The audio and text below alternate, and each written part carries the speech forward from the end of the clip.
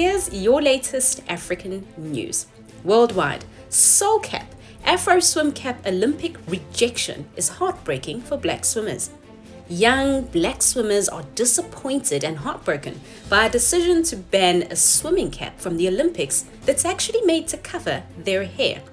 SoulCap say the international governing body for swimming rejected an application for their caps to be certified for use at competitions. They say FINA told them the caps are unsuitable because they don't follow the natural form of the head.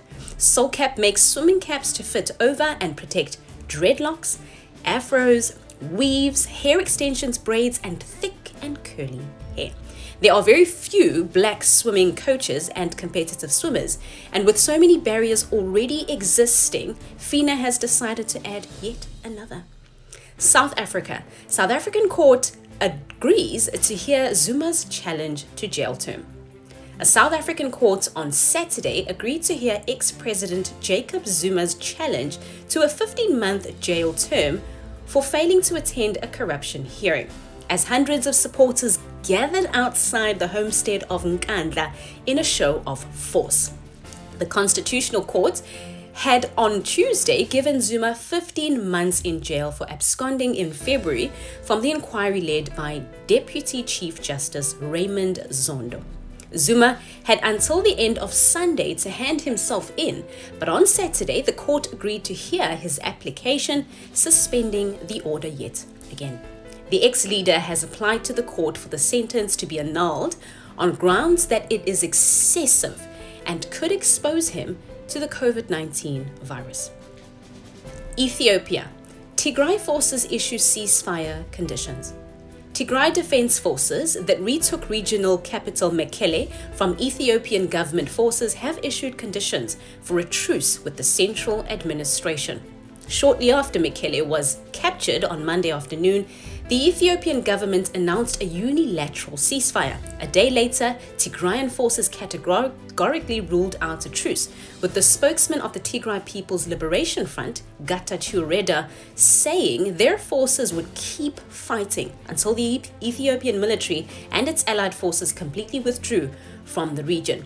However, in a statement issued on Sunday, the restored Tigray government said as far as an ironclad guarantee is secured to ensure the people of Tigray don't suffer any new invasions, they would accept a ceasefire in principle.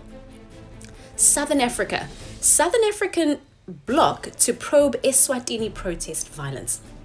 A team from the Southern African Development Community, SADC, will arrive in Eswatini this week after the kingdom was rocked by pro democracy protests and claims of a deadly crackdown. The kingdom's government said it had invited the Southern African Development Community, SADC, to carry out a fact finding mission. Ethiopia. Ethiopian people raise over $20 million for Grand Ethiopian Renaissance Dam. Over 1.9 billion birr has been secured from various income generating schemes for the construction of the Grand Ethiopian Renaissance Dam. During the past 11 months of the current fiscal year, Office of the National Council for the Coordination of Public Participation uh, on the construction of GERD the public has demonstrated overwhelming participation in financing the construction of the mega dam. During the past 10 years, the country has managed to collect 15.6 billion birr from the public to the GERD. Preparations has been finalized to launch the GERD network that would have multiple importance in mobilizing funds for the mega dam, thereby supporting Ethiopia's vision to prosper. The network would bring individual and societal knowledge to support the national efforts to ensure the development and utilization of natural resources. Nigeria.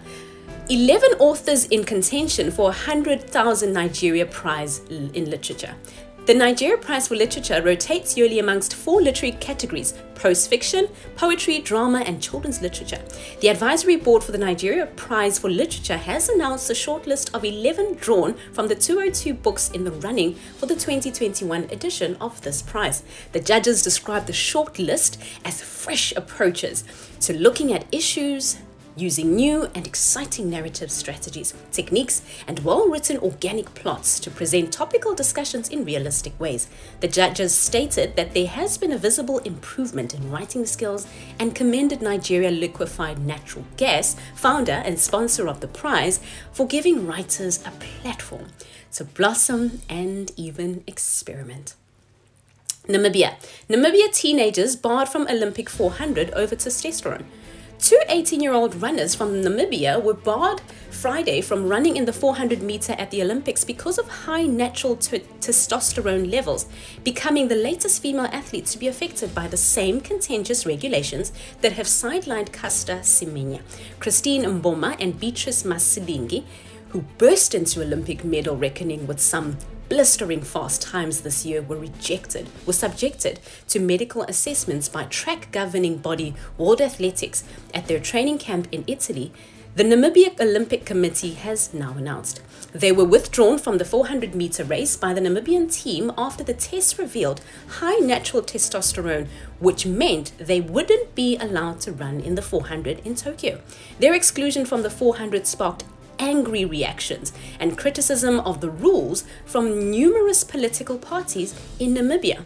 Many Africans feel only seem to apply to this only seems to apply to African women after European women complain to the governing bodies as to why they can never beat the African counterparts.